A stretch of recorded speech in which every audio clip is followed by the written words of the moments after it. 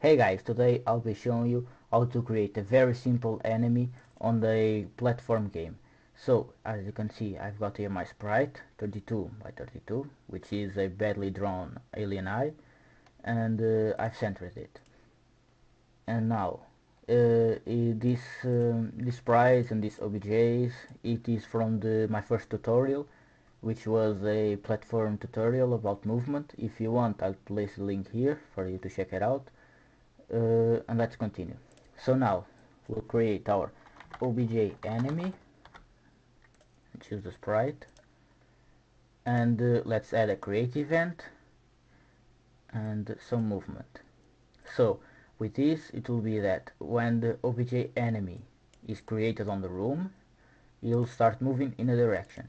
In this case the direction will be left or right because since this is a a platform gate with a platform game. With gravity you will go left or right and then hit a wall and reverse direction. I'll do that later on.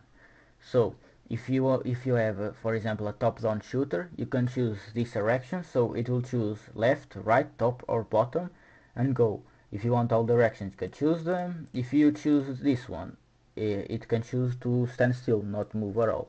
And the speed let's set it to 4 so left and right. It will go left left or right. And then uh, on the, if it collides with obj wall which is our wall it will bounce. What this means is that when it collides with the wall the obj wall on our room it will bounce to the opposite direction uh, not precisely and solid objects. Uh, don't forget to, that in your wall object you need to have solid checks otherwise this will not work and other collisions will not work also with obj wall. Then we'll go to obj player and a collision with obj enemy so that when the player collides with obj enemy the room restarts here on main one the room restarts. It's like it's an easier way to say that he died uh, everything restarts so now we've created our obj enemy. It was this symbol. And now we go to our room. Here. Place the player. Let's place it here. And place uh, some enemies. So let me place a grid 16 by 16 so that it spawns here. And let's place one here. Here. That should work. So when the, the player is around and the OBJs will start moving. The OBJ and the enemies will start moving to the left or to the right. And when they collide with the wall they will reverse direction. And same here. And when the player collides with the OBJ enemy uh, the room will start. It's like the game restarting. So let's test it see if it works as you can see here. We've got our enemies moving left and right and when they collide with the wall they bounce off. They reverse direction.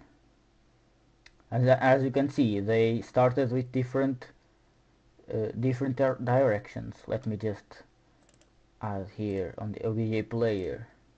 When he presses the R key the game will restart. So that I can show you that uh, obj enemies are totally random. So as you can see this one is random from that one and again random and again. Now they are the same. So as you can see it is totally random.